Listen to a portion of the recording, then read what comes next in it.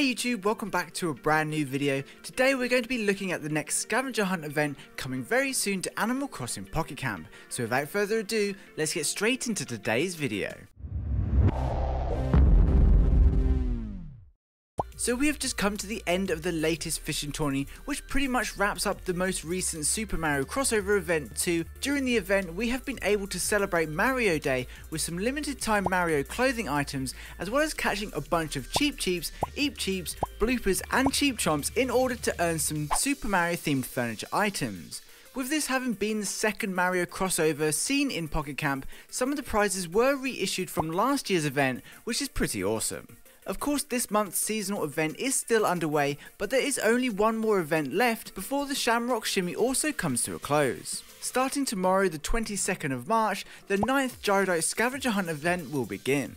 This time around we'll be on the hunt for some balloon gyroidite nuggets, which as always will be scattered around every corner of our campgrounds. The idea is to find and collect as many gyroidite nuggets as possible and use them to craft some fancy looking balloon party items. Some of the items available during the event include the Bear Party Balloons, the Bear Balloon Cushion, the Bunny Party Balloons, the Bunny Balloon Cushion, the Floating Balloon Swing which looks awesome, the Blue Balloon Art Hat and finally the Pink Balloon Art Hat.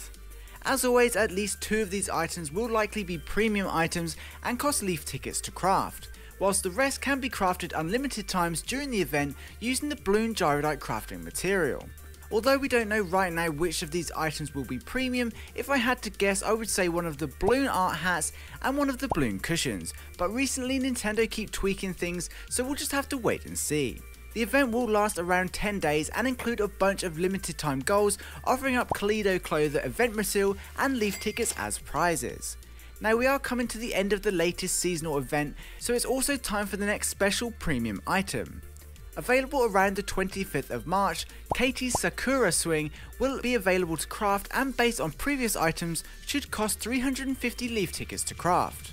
Of course when this item is placed at our campsites, Katie will stop by which is cool. The swing itself fits in perfectly with the latest fortune cookie stars and all of the items obtained in the last couple of springtime events. And finally, to wrap up the latest updates, we can expect some fresh fruit goals to become available very soon. These will most likely include goals for harvesting or selling fruit, so it's probably a good idea to stockpile some of your exclusive fruits now, just in case the goals include selling them. The prizes will of course be leaf tickets for completing mini goals and fortune cookies for tier goals. Also, just as a reminder, the latest Hostamos event, which brought Tank, Mira, Patty, Chevrolet, and Bree to our campgrounds, ends today, so make sure not to miss out on those goals. So yeah, as always, lots going on, and no doubt we'll see a significant update very soon with the next seasonal event and the next wave of villagers and fortune cookies. So yeah, that pretty much covers all the latest news surrounding Animal Crossing Pocket Camp right now. As always, a special thank you to this channel's Patreon supporters, you guys rock. Don't forget to head over to our new Discord server too, and of course, if you got this far in the video, please comment Balloon Party just to let me know you did, that would be super awesome, and be sure to include whether or not you'll be crafting Katie's Sakura Swing. Anyway, I hope you enjoyed this video and found it entertaining, please be sure to leave a like if you did. Thanks for watching, I hope you have an amazing day, and I'll see you in my next video. Peace.